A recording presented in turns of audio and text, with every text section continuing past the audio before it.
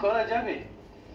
সে ওই সঙ্গে সঙ্গে যদি বিচার করতে পারি, তখন ওই কাম আর কাঞ্চন ওই যে ইচ্ছা, বাসনা, আর সেইটা পূরণ করবার জন্য যে অর্থ, এটার জন্যই সংসারটা চলেছে কিন্তু। সমানে তাই হয়ে চলেছে। অথচ সত্যি কথা, আমাদের খুব অল্পেতেই সবকিছু হয়ে যেতে পারে। খুব অল্প আমরা তুষ্ট থাকতে পারি। কিন্তু তথাপি হয় না।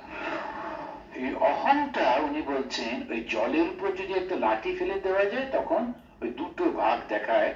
ওই তখন ওই দুটো ভাগের দরুন মনে হয় দুটো জল। কিন্তু ঈশ্বর আর আমি আলাদা নই, সেটা বলতে গিয়ে বলছেন, অহং সেই লাঠি। লাঠিটা তুলে নাও, একই জল থাকবে। আমি, ঈশ্বর এই কথাটা হিন্দুইজমে আমাদের সনাতন ধর্মে বারবার বলছে। আমি, ঈশ্বর।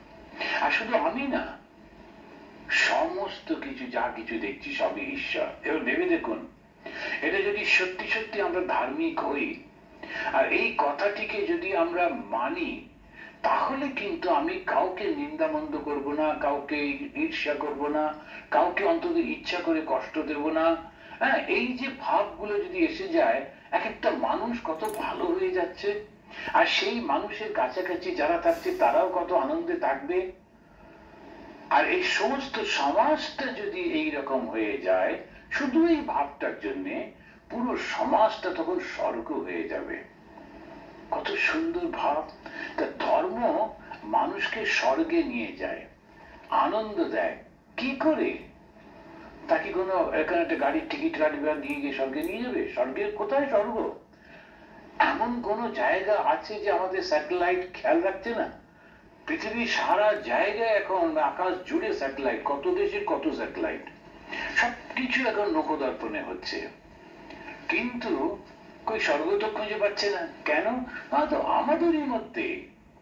মনের মধ্যেই তো রয়েছে সেই স্বর্গটা। এই স্বর্গটা কি? একটা আন্ডারস্ট্যান্ডিং একটা নিজে পরস্পরকে যে বোঝা, পরস্পরকে যেই বুঝতে পারলাম, তখন তার মধ্যে একটা ভালোবাসা এবং সেই ভালোবাসা পরস্পরকে একটা আনন্দের জায়গায় নিয়ে যায়। শ্রীরামকৃষ্ণ তখন বলছেন যে, এই যে আমার মধ্যে যে অহংকার, সেই অহংকারটি যদি চলে যায়, তখন হচ্ছে আনন্দ। বিজয় তখন জিজ্ঞেস করছেন, যদি অহং না গেলে সংসারে আসক্তি যাবে না, সমাধি হবে না, তাহলে ব্রহ্মজ্ঞানের পথ অবলম্বন করাই ভালো যাতে সমাধি হয়। আর ভক্তিযোগ যদি অহং থাকে, তবে জ্ঞান যোগই ভালো। বিজয় কৃষ্ণ গোস্বামী তখন যখন ঠাকুরের সঙ্গে ওনার পরিচয় এসে কথাবার্তা, তখন উনি ব্রাহ্ম সমাজের মেম্বার ছিলেন, একজন তাদের গুরুও ছিলেন, ধর্মগুরু।